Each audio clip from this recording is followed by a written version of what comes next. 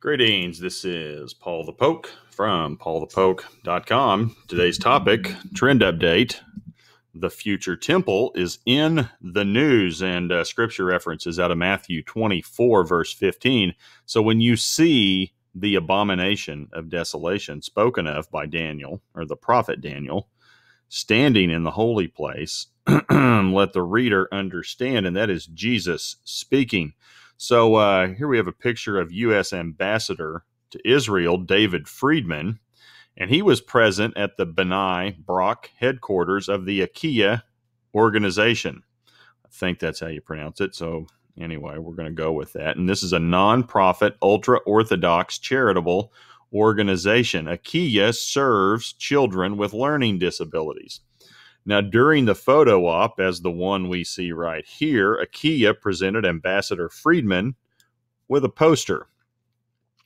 And the poster was of the Temple Mount. Now, instead of the Muslim Golden Dome, which would be right here, follow the cursor, the real estate in the picture was replaced with the Jewish temple.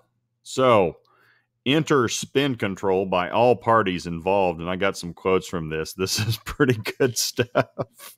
And the first is from the U.S. Embassy in Jerusalem. Ambassador Friedman was not aware of the image thrust in front of him when the photo was taken.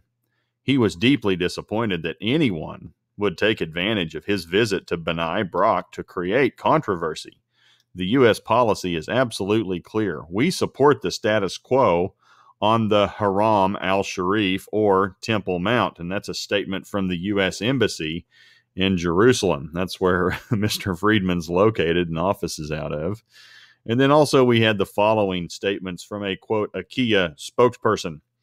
The management of, of Achiya wishes to apologize to the American ambassador in Israel, Mr. David Friedman, and to the U.S. Embassy in Israel. An employee from the Achiya organization handed the ambassador a poster that was not approved by Achiya, the embassy, or the ambassador. So there's one quote. And then a second quote from Achiya, a spokesperson person from Achiya. We wish to thank Ambassador David Friedman and the embassy staff for the professionalism and generosity they showed in the visit to Achiya to highlight the important work we do to change the lives for the better.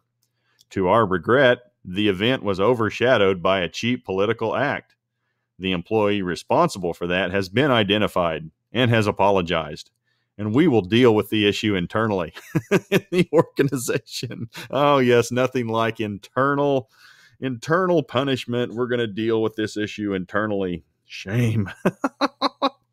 and lastly, we want we want again to thank the ambassador for his time and apologize from the bottom of our heart for the unnecessary incident. again, that's from an Achiya spokesperson. Now, if you guys want to follow up, this picture is from the Times of Israel. So www.timesofisrael.com. U.S. Embassy image of Jewish temple thrust in front of Envoy Friedman for photo. so, and I'm sure there will be Muslim outrage because their blessed little golden dome has been replaced by the Jewish temple. But make no doubt about it, this thought is in the minds of Jewish people. And I even saw something the other day that more people have uh, visited, more Jewish people have visited the Temple Mount this past year since any time. Uh, since about 2000 years ago so it's becoming more and more in the in the mind of the consciousness of the jewish people it's coming we know it's coming and so little soft disclosure here uh, get ready for this. I expect this will be more and more in the news as the time gets closer. Um, but keep your eye on it. Appreciate you guys listening. If you are interested, please uh, check out paulthepoke.com. Keyword temple. It's a category, temple category. Take care. Have a good one. Bye.